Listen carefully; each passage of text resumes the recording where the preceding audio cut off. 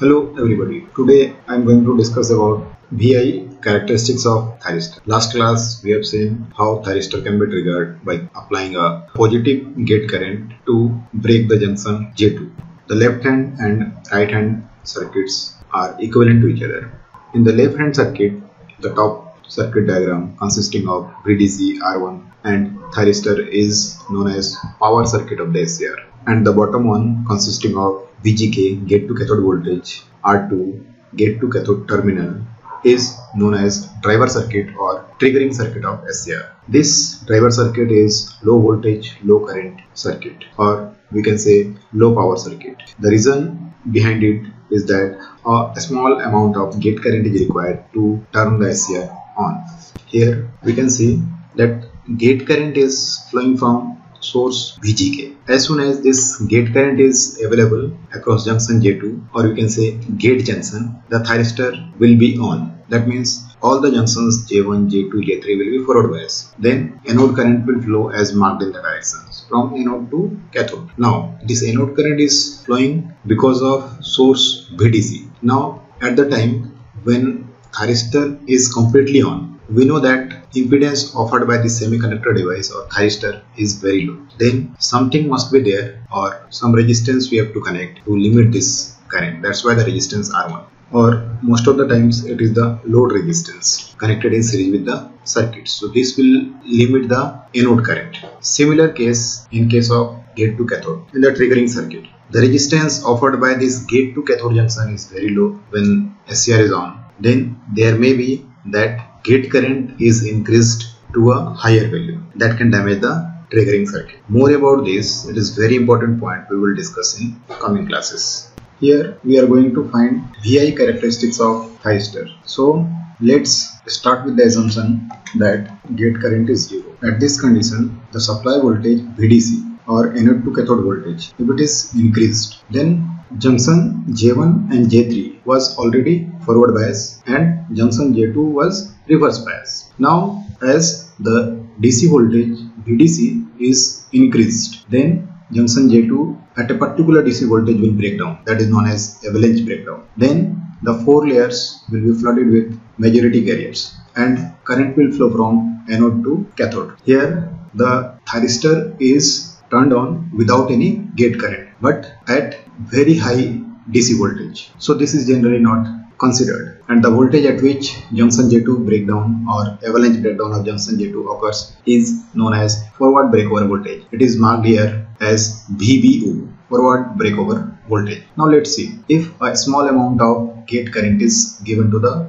junction J2 through VGK then what will happen at lower DC voltage the thyristor will achieve the same condition. Now because of that a small amount of gate current the junction J2 will be forward biased and junction J1 J3 were already forward biased so the four layers are flooded with majority carriers and anode current we will get from anode to cathode. The difference between the two turn on methods first by increasing the DC voltage without any gate current and second by increasing the gate current with a fixed DC voltage is that in the first method the voltage required to turn on the SCR in avalanche breakdown condition is very high. It may be in kilovolt but when gate current is given then at very low DC voltage we can turn on the SCR. So this is the advantage of this process. So it is preferred by supplying a, a small gate current and at very low or lower anode to cathode voltage, we can trigger our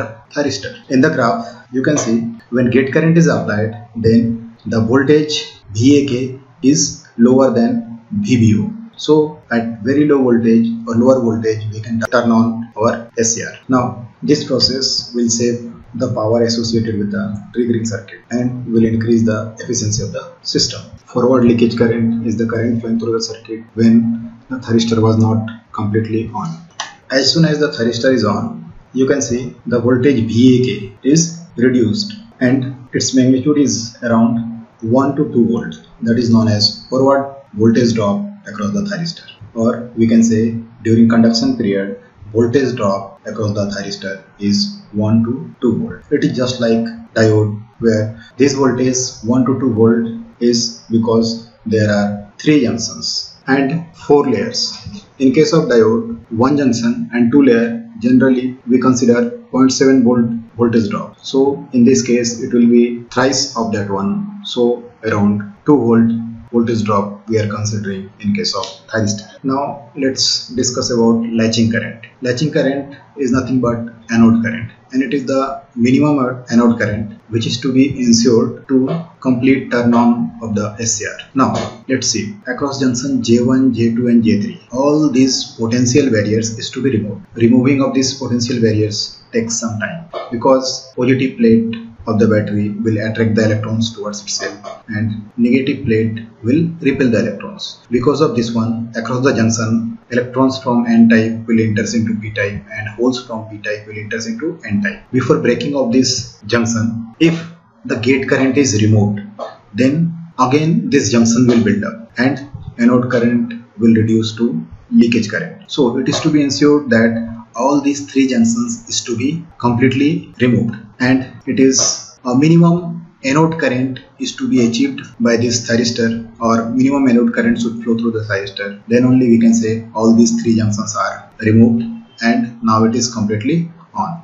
And before breaking of these three junctions if gate current or any other triggering method is removed then the thyristor will not be completely on. And again the junction will build up so that's why this latching current it is the minimum current required to ensure that thyristor is completely on. And this latching current is associated with the turn on process. Now let's discuss about holding current. One of the property of thyristor is that once it is on it will remain on. You can see when all the junctions J1, J2, J3 are forward bias then nothing is there to oppose the current. So current will flow from anode to cathode. If the gate current is removed, then still thyristor will be in on condition because of the field effect of battery or positive supply of the battery will continue to attract the electrons and negative supply will continue to repel the electrons. So current will continue to flow from anode to cathode if gate current is removed.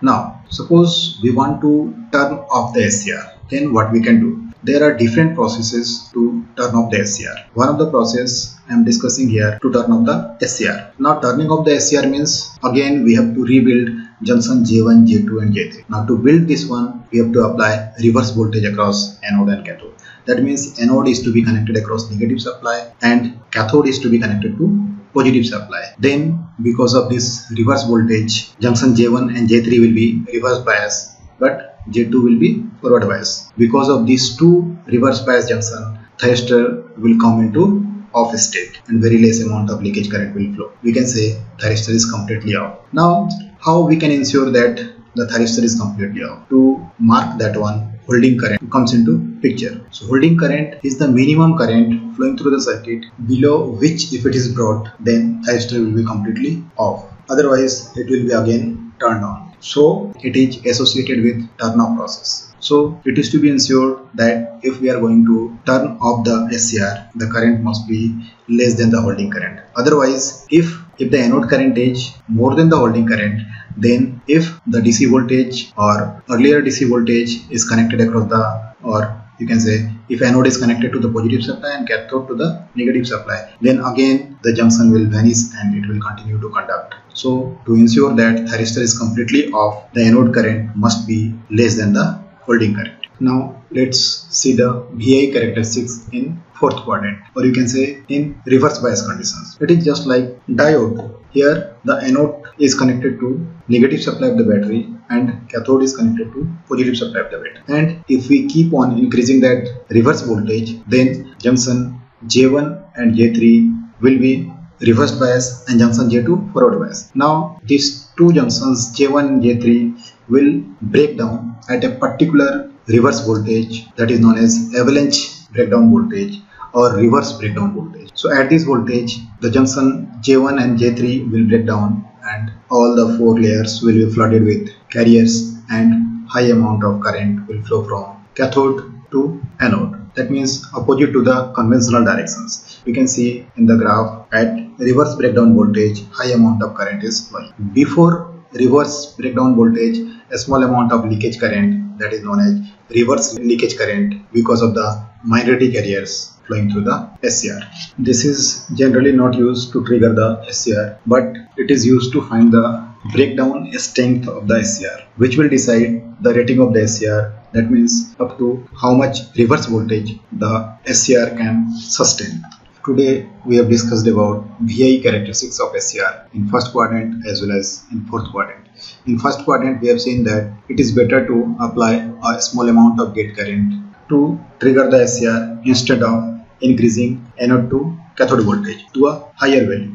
That means anyhow we have to break the junction J2 to trigger the SCR. In fourth quadrant we have seen that in reverse bias conditions there are two reverse bias junctions J1 and J3 this is the reason that thyristor can block very high voltage in reverse bias condition. This is one of the important characteristics of SCR because of which it is very popular in high power applications. Thank you.